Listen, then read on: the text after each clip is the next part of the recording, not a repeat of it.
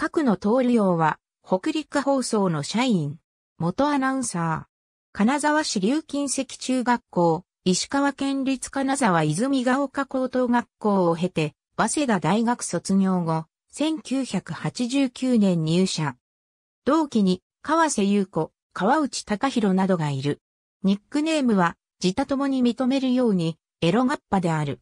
生放送中の番組内でも、リスナーやパーソナリティからそう呼ばれることがある。なお、公式サイト上では、タッポポと記載されていた時期もあったが、後削除されている。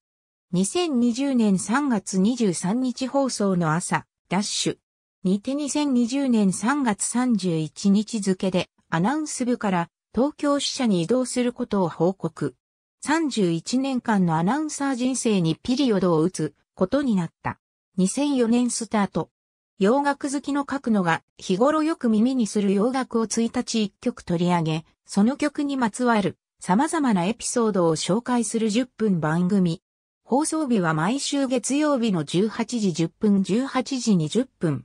毎週土曜日の17時50分18時などに放送していた時期もあった。再放送は土曜日の5時30分5時40分。オープニングテーマはルベッツのシュガーベビーラブ。番組で取り上げる曲は、当初は各の自身で選んでいたが、最近はリスナーからのリクエストがほとんどである。ただし番組で一度取り上げた曲は取り上げない。リクエスト曲がカバー曲だった場合、紹介がてら原曲も少しかけることもある。以前、同番組のコマーシャルにおいて、エリック・クラプトンの愛しのレイラを取り上げ、レイラって誰か知ってるか？ザウンチクミュージックを聞いてみな。答えがわかるぜ。と言っていたが、毎回答えを言っているわけではなかった。